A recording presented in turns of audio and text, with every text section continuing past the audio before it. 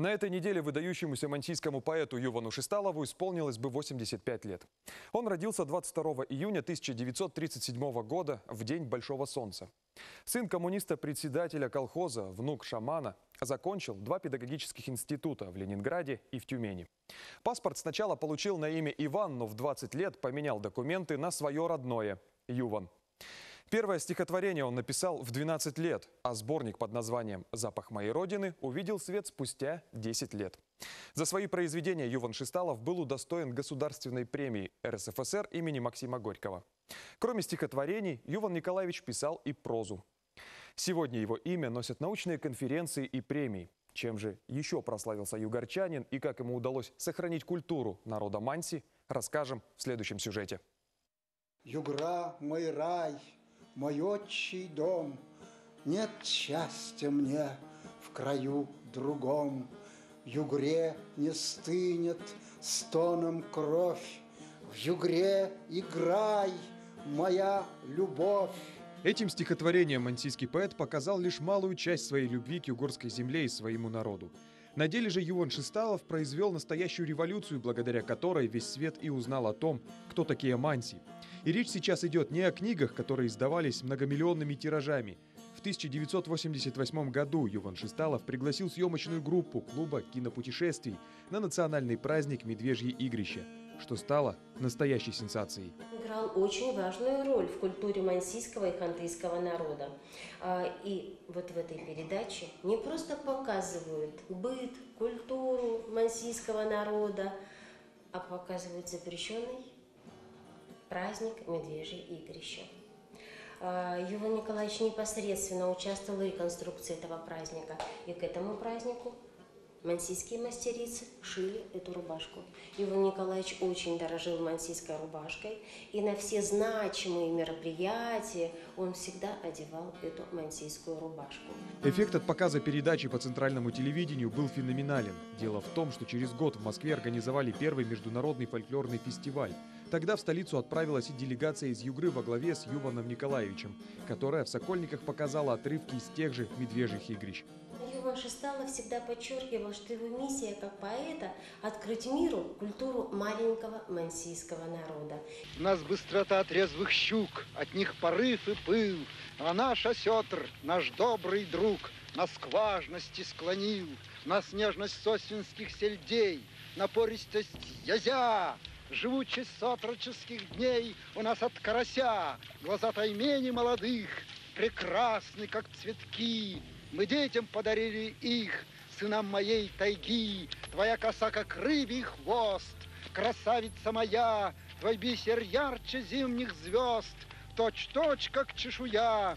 Приглашение на югорскую землю киношников из Москвы был не единственный дерзкий шаг со стороны поэта. Дело в том, что в начале 90-х свет увидел журнал «Стерх», где печатались стихи и произведения финно-угорских писателей и поэтов.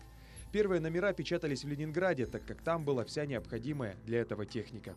Выйти в свет тиражом 15 тысяч экземпляров. Именно столько только мы нашли бумагу, э, необходимую э, для издания цветного журнала. На это ушло мне на изготовление журнала полтора, а может быть и все два года. Советский Союз, э, там была особая идеология, и все журналы назывались так «Пламя», «Знамя», и вдруг «Стерх». Более того, он издает не просто журнал «Стерх», он издает одноименную газету, но уже называют ее «Белый журавль». Значит, мы сохранили в своей культуре очень древние вещи. Недавно нас называли то дикарями, то что нет, оказывается, оказывается мы сохранили загнанные в болото, в естественном холодильнике, мы сохранили древний э, язык, даже древнюю культуру. Что такие танцы, которые сейчас э, все пляшут, а мы не переставали плясать. Это так плясали скифы. А как часто проходили чтения Э, своих собственных произведений дома? Постоянно. Ну, то есть он нам читал, что вот написал, приходил, читал. Вот. Ну, а когда гости-то тем более... Были какие-то у него правила, когда он читает, как себя должны вести слушатели? Ну, они должны слушать и тихо сидеть. И если кто-то гремел вилкой, то он на них посмотрит, и тот человек сразу затихает. Просто он молч- молчать умел. Впрочем, строгий взгляд поэт использовал очень редко. Больше Юван Николаевич любил общаться и мог с легкостью заговорить даже с первым встречным. А Метеор отправлялся в 6 утра. Это же метеор, замкнутое пространство. Единственный вид транспорта в те годы, конечно, он был переполнен. А для Ювана Шесталова один человек, это уже, уже была публика, а тут целый метеор. Он вставал, начинал читать стихи, что-то декламировать, рассказывать. Елизавета Владимировна, конечно, очень мягко. Люди отдыхают, не мешай. Он всегда беспрекословно слушался. Запомнился Юван Шисталов и своим трудолюбием. Недаром его кабинет сейчас в точной копии находится в музее Торума. К слову, и появился этнографический музей по его инициативе на одном из священных холмов города. Иван Николаевич буквально заряжал окружающих своей энергией. Главное, приучал к работе.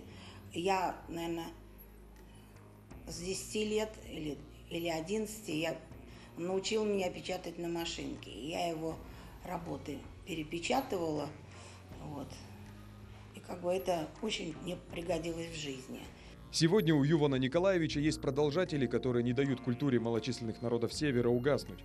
Взять, к примеру, Дениса Вынгелева. Его творческая группа разработала онлайн-переводчик мансийского языка.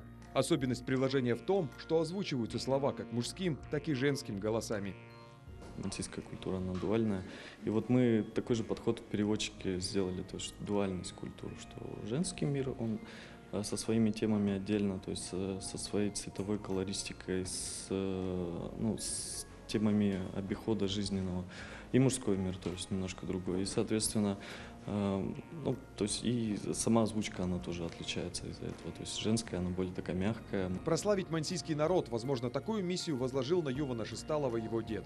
Он был шаманом, а когда восьмилетний внук тяжело заболел, тот излечил его, передав при этом часть своей силы. И со своей задачей Юван Шесталов справился. Я стерх, я журавль, священная птица.